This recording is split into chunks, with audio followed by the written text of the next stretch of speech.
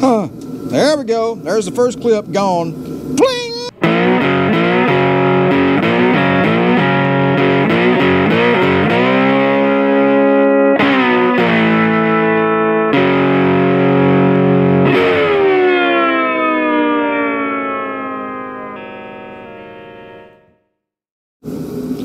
All right, we're back. I went ahead and removed the cluster from the old 300SD. We've got a little bit of, uh, restorative work to do today.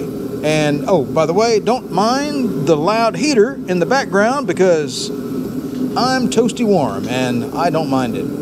Now, our cluster here has the typical speckle disease or dot disease or whatever you want to call it. Uh, I watched another YouTube video recently where a gentleman, I believe in New Zealand or Australia, one or the other, put these things underneath his microscope and just and basically noted that they were sprouting from within the paint. It's it was pretty interesting, really. So the brown is a primer of sorts, I am assuming, underneath, and it is degrading or oxidizing in some manner and it is poking through the top layer of paint. If we get down here and just really eyeball this, I can tell up close that it, it looks like a growth. It's really bizarre. It looks like the spots are simply sprouting from within the paint. It, it's really strange. I don't know that I've ever seen another paint deterioration uh, feature or manifestation like this before. This is the only place I've ever seen this happen. It seems to be pretty much everywhere on the on the framework itself, but I can look in the gauges and I can see remnants of it. I can see it's happening very, very slightly on the lines and the numbers and whatnot, but I'm not going to be able to do anything about that. But what I can do is take the shell out of here, go ahead and sand it down, reprime it, repaint it with some good satin paint that is made for plastic. We'll go with a nice uh, satin black, and then we'll apply this apricot color over the needles. And I think you can tell that's going to work out pretty nice. All right, so let's go ahead and see if we can't disassemble this cluster and bring it back to its original glory.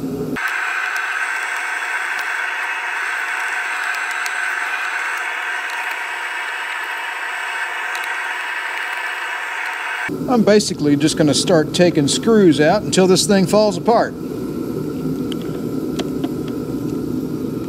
That sounds like a pretty good plan to me.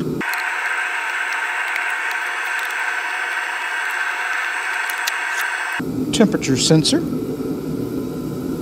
or temperature readout rather. Been a while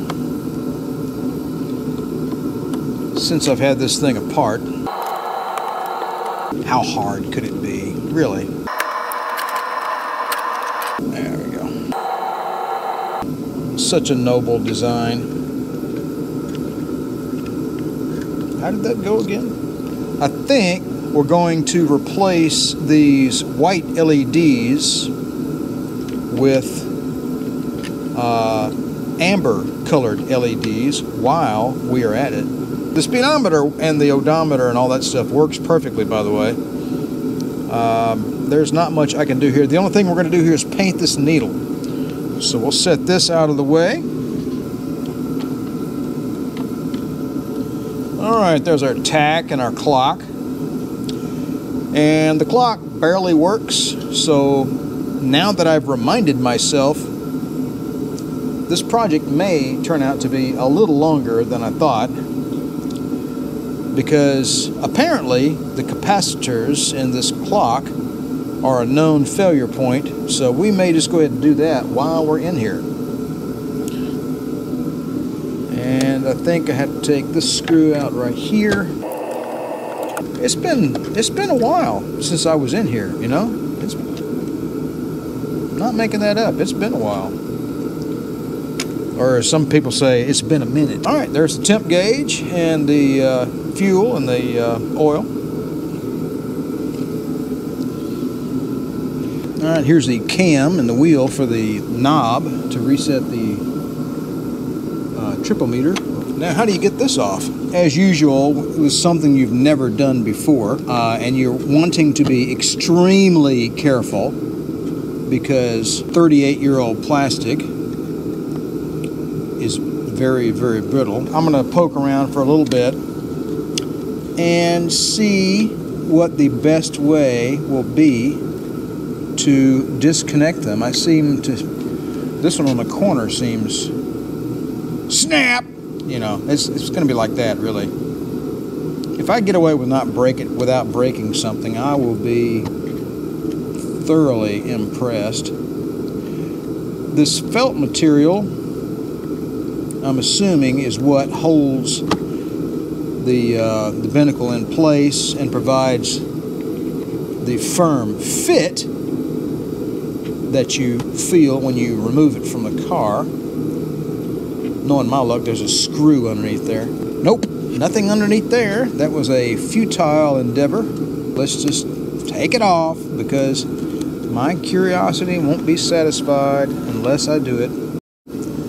All right, I'm making a little bit of progress here. You got these little clips here, here, and there's one over there. And I'm just being really, really, really cautious. So just pull that tab up just a little bit and then put a screwdriver in there and just twist a little bit. Careful. Get some of this glue and felt out of the way. Looks like I'll be making another trip over to Hobby Lobby and uh, pick up some, some strips of felt and we'll find a suitable adhesive to uh, redo what we've torn off. I should have known this wouldn't be this easy.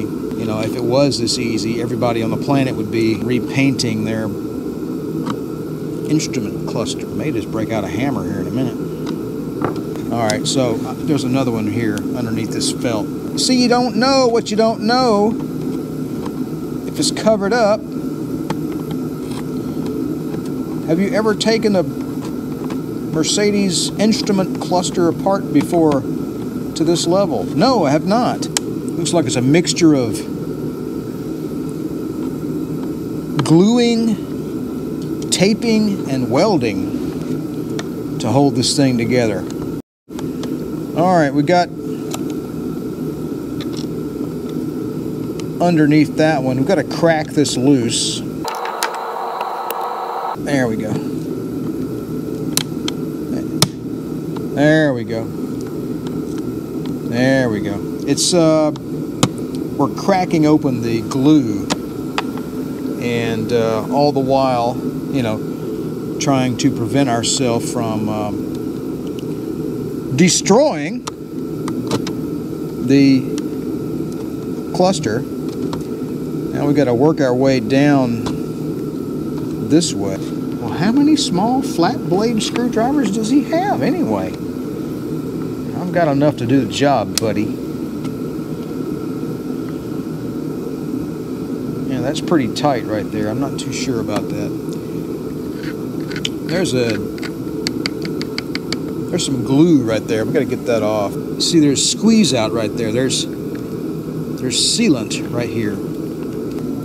There we go. There's the first clip gone. Pling! Got a little overzealous, but uh, I'm thinking it just won't matter. So anyway, let's let's move on, shall we?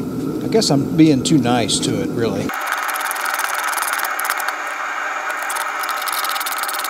I kept thinking, oh, I can preserve that 40-year-old felt. That was pretty stupid. Let's see if we can break that one too. I heard a crack. Over two, maybe? All right, it's the next day. Nice, beautiful Saturday morning. And I decided to go with a little bit of heat. And we will use that in conjunction with a hot razor to separate the two halves of this cluster. It's apparent that uh, the factory used some sort of sealant here, uh, some sort of adhesive on either end here. It's, it's stuck pretty solid. Uh, on the middle section here, I was able to uh, just gently pry it loose, and that this part seems to be loose. I think on the ends, it's solidly adhered with uh, some some form of, of fairly strong adhesive. So that is the immediate plan. We're going to go with heat next. All right, so let's go ahead and uh, get busy. Oh man, that's pretty nice there. Yeah, that was a good decision.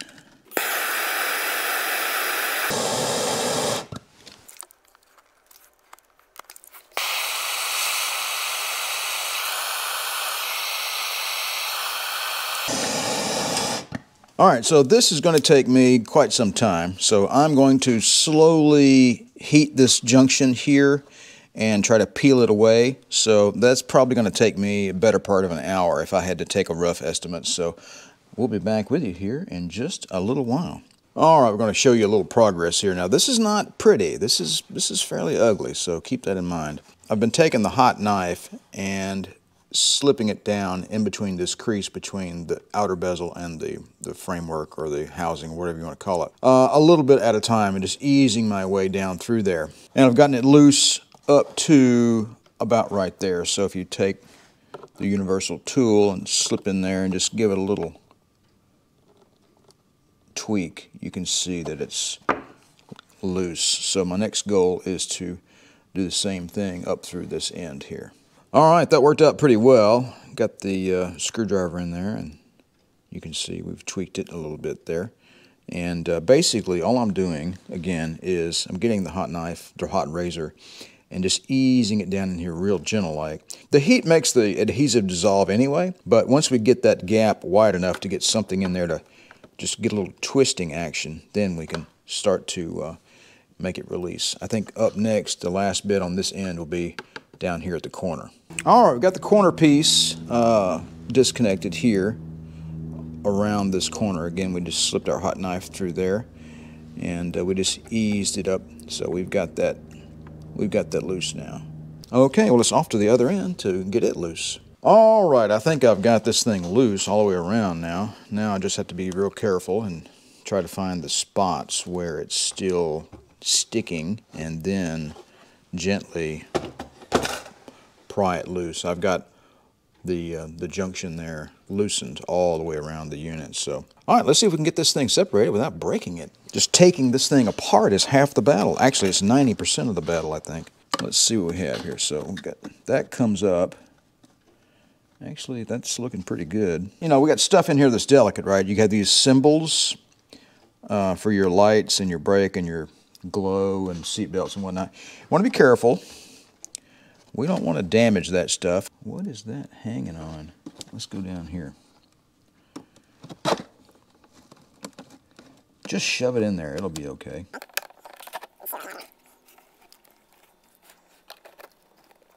Careful.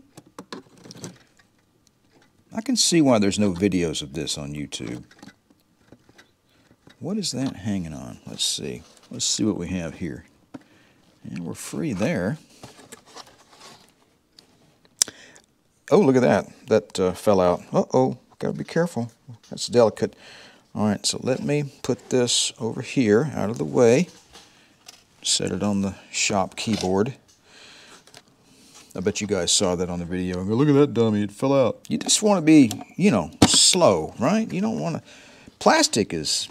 I'm not telling you guys anything you don't already... You hear, you hear that? Click! That's your disconcerting sound that you don't want to hear. But in this case, I think it's simply this bezel releasing. All right, well, I'll battle this for a little while longer. I'll be right back. All right, we just had a few places where the plastic had not let loose just yet. A few strands. And we, look at that, look at that, look at that. On video, even first time. Man, look at that. Okay. Well, we got that off. Our little uh, lamp translucent uh, seat belt thing fell out, so let's put that over there. Okay, so here is the outer piece with the clear plastic lens. Uh, this piece here will be uh, sanded down and painted as well. Uh, clearly, this lens will need to come out to do that, as well as this lens here. We may have to take that one out as well, but we will figure that out in a little while. We won't worry about that just yet. Our main task is to eliminate this mess up inside here. The dot disease or the, let's see, see it just, you rub your finger on it, it's, it's clearly oxidation of the primer coat beneath the uh, top coat. Or it could be oxidation of the plastic itself. One or the other, not sure which. But I think it's pretty clear that with this white haze here, when you rub it, that, that's a sign of oxidation. Uh, the car probably spent most of its years in a carport, I think, as opposed to a garage. If it had been inside, I don't think it would have seen this problem. The question remains, how do we work on this? We still have these lenses here for the blinkers. I'm going to poke around a little bit and see if I can't find a way to remove this from the housing. Uh, because I, in my mind, I'm thinking I'm probably going to use uh, baking soda blasting to clean this up because there's too many fine curves and ledges and stuff. You couldn't just get in here with sandpaper and stuff. It's got to be soda blasted. That's you. You know, you see this this ridge right here. There's just too much stuff here. So we, I think a soda blast is, is the way to go. All right, we've got the central housing removed. Upon my initial observation, it looked like this area was actually an insert uh, into this housing, but it's not. It looks like an insert, but it's not. You know, things are just, they just don't seem apparent until you just really start digging in there and just examining everything just really closely, you know, to see what you're really, really dealing with here. You've got the, the green lenses for the blinkers, and you have, they're sort of fiber optic, not really, but it's just a big piece of plastic and it transfer the, transfers the light from the bulb, which is here,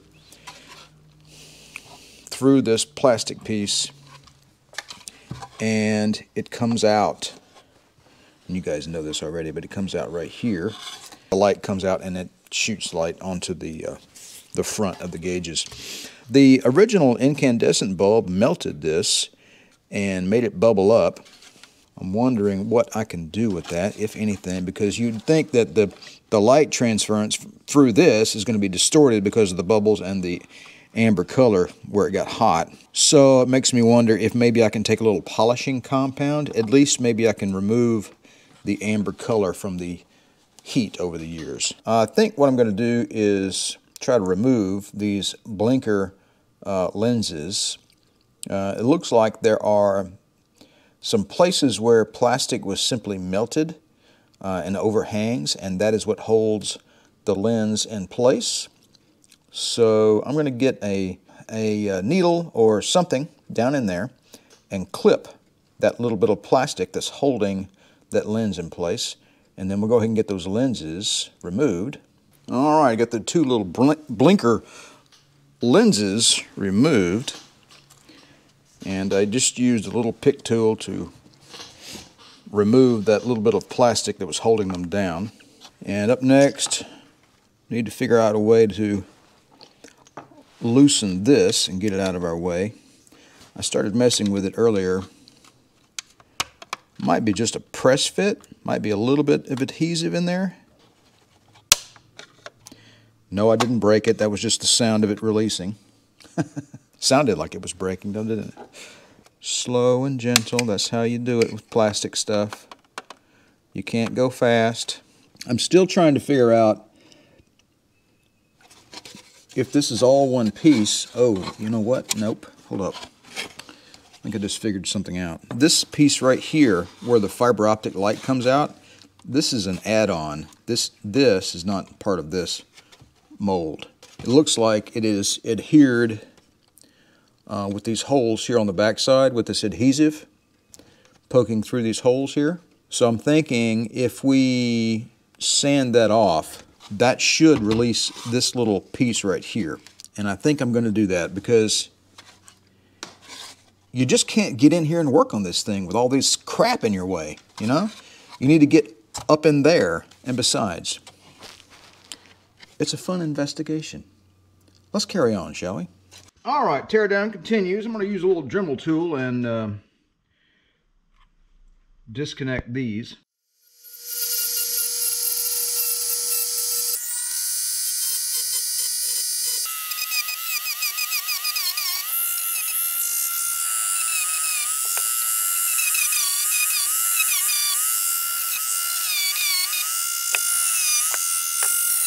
All right, I used the uh, Dremel tool to uh, dig in here and remove that plastic uh, dowel rod or whatever it was. Um, and uh, I bored that out there and there. I haven't done the rest of them yet, but I just wanted to show you the progress. We've loosened this thing up, right? So, right? You can see what I'm doing.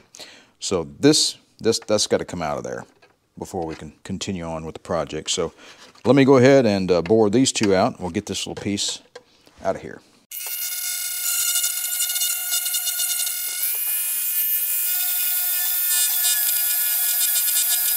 Oh, there's one in the middle.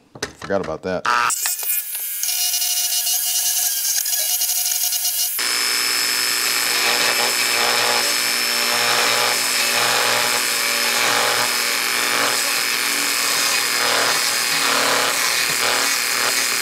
trying to remove as little material as possible.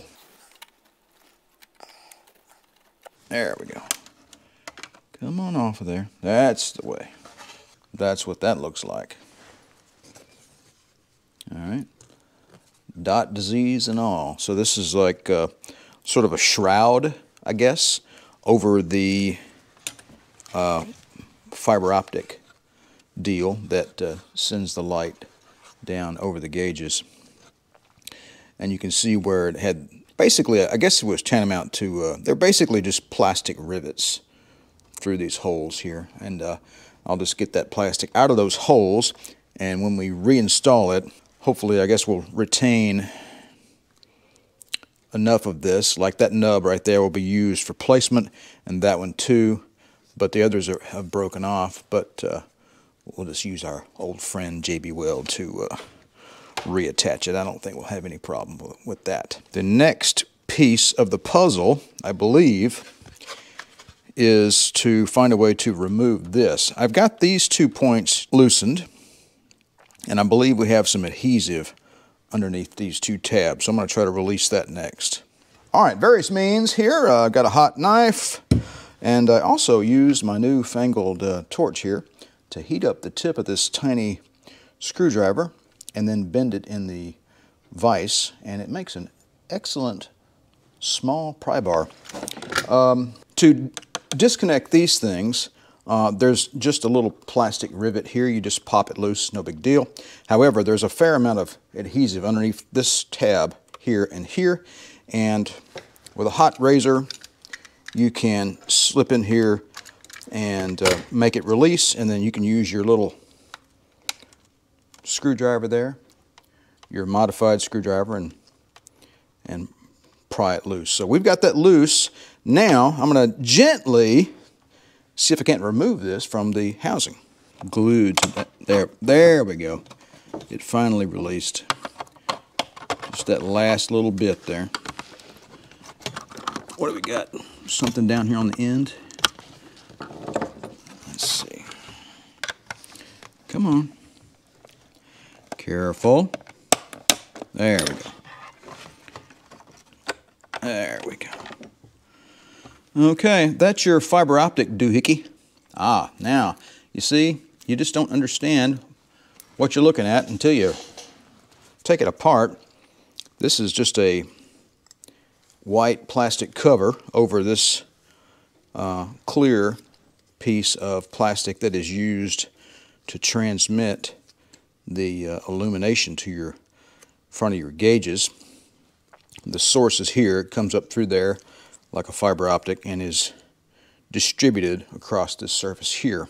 I suppose one could probably remove that and then take this and just polish the heck out of it and try to optimize the amount of light that you get to your gauges. And uh, during all of this, I think I'm going to try to do something about this. Surely this is affecting the ability of the light to, you know, transmit. So, all right, we'll worry about that at a later date. So let's set this aside. I'm going to go ahead and disconnect this one off camera. All right, there you are, folks. All torn down. We got everything disconnected from the internal housing of this instrument cluster. And I think we're ready to start cleaning it up. Need to strategize just a little bit about how we're going to go about this. This plastic right here looks really good. That's where the lenses covered up this section right here. That means that the light did not get a chance to come in there and oxidize the plastic. That's what, that's what that means. These were covered up with the lenses, and you can see that this plastic is in perfect condition. And that lens filters out a lot of the light, right? It only shows you red or green or whatever the color of the illumination is. So it filters out a lot of the, uh, the light. So that is the reason why that looks good and this does not. I think we figured that out. How about that? So up next, I'm going to go ahead and prepare our soda blaster. Uh, and it's been a while since I used it, so I'm probably going to, to go clean it and fiddle with it for a little while to uh, make sure it works properly. And then we'll, uh, we're going to clean this thing up. I taped up this area here that I didn't want to blast, and uh, everything else is fair game, however. I think the first thing I'm going to do is just hit this area right here and just see what that does before we go, you know, hog wild, right?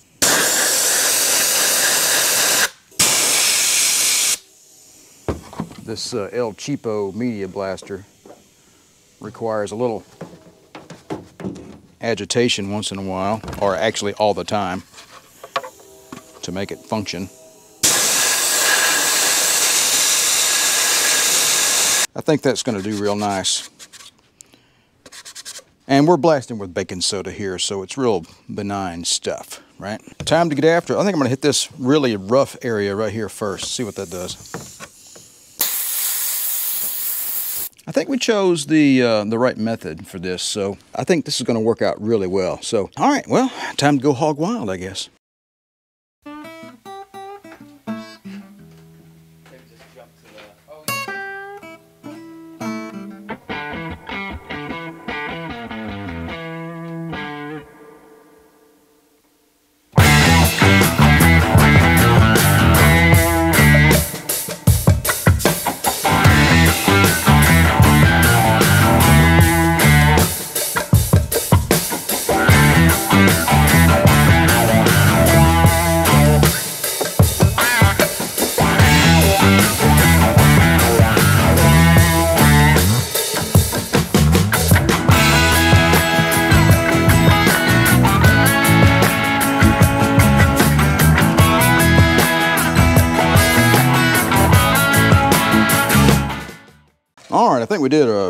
Good job here, folks. Uh, I've got this all soda blasted, and that is what the, uh, the bare surface is looking like.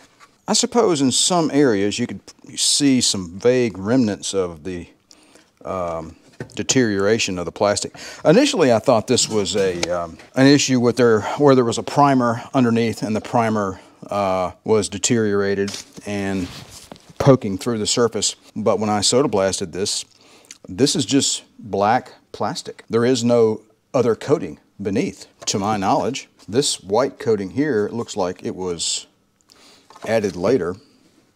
I could be wrong though.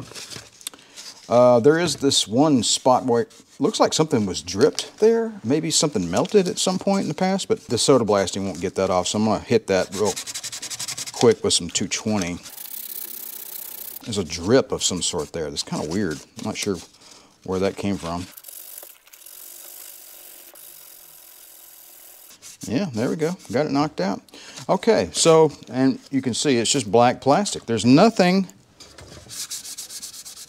beneath it? Where does that lead us in our investigation?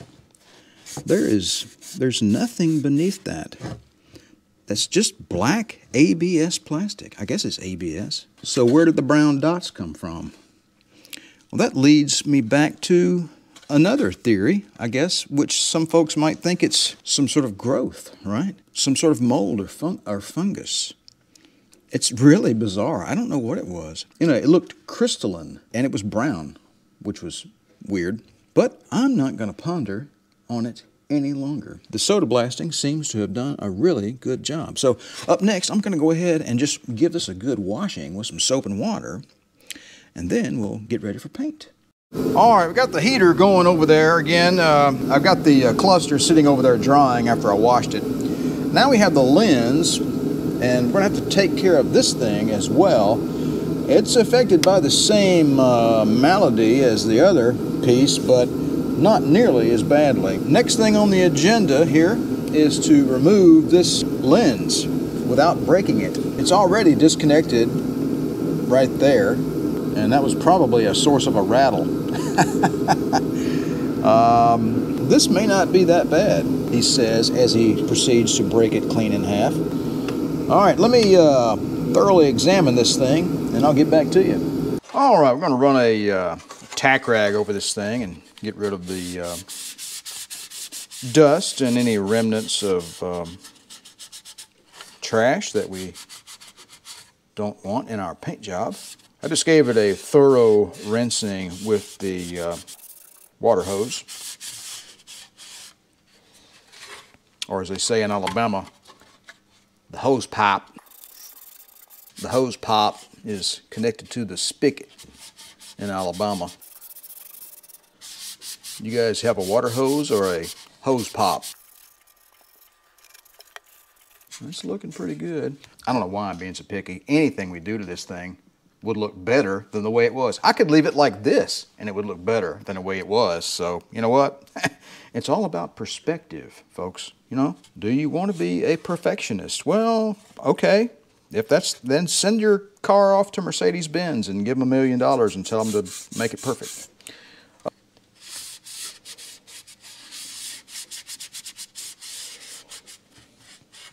Otherwise, you know, just do the best you can within your means. All right, I think that is about it. This piece is ready for some Krylon Satin Black. All right, folks, I think I'm going to wrap this video up and uh, call this part one of our instrument cluster uh, restoration. So we've got the main housing here, uh, all media blasted or uh, soda blasted, I, I guess you might say. And uh, I came in here with some Krylon uh, Satin Black and gave it uh, three coats there. It looks pretty good. Um, it's not quite dry yet. It's still a little shimmery and I'm trying to figure out whether or not I'm gonna have a run or not. I don't think I am, but you know, it looks pretty good. like I said earlier, anything we do to this thing will be way, way, way better than the way it was, okay? So let's, let's try to maintain some perspective here. So I think you'll agree that uh, it looks way, way better than it did. So let's move on over here and talk about this piece for a moment. Now this one's going to be kind of tricky. Got to figure out how to get that lens out of there or I might leave it in place. I'm not sure what I'm going to do just yet, but I've got to sand down this piece and give it a paint job as well. And then when we uh, put it all back together, we'll have to use some adhesive to make sure the lens is uh, adhered to the framework and all that. Also, we have these uh, fiber optic, for lack of a better word. I don't know what you call them, really. I need to clean this up a little bit, so that's going to be in the next video as well. And we need to clean up these needles. I've got some paint for that. We're going to paint those in the next video. So in the next video, you'll see the renovation of this piece, uh, the needles on the gauges, and we'll try to clean these guys up as best we can. We'll probably get to the reassembly of the whole thing, but we'll see what happens. Uh, oh yeah, and uh, almost forgot, we got the super bright LEDs, and I might add, it says for off-road use only, which is whatever. We have this little piece right here. I still have to get to this one as well, so I'll need to soda blast it and go through the whole nine yards and uh, paint it with satin black as well. So all in all, we've got quite a bit of work left to do. All right, folks, that's all for now. I appreciate you guys stopping by the channel. Don't forget to like, share, and subscribe. And if you'd like to be notified whenever I release a new video, don't forget to click that little bell down below. You guys have a good one, and remember to enjoy restoring your classic Mercedes.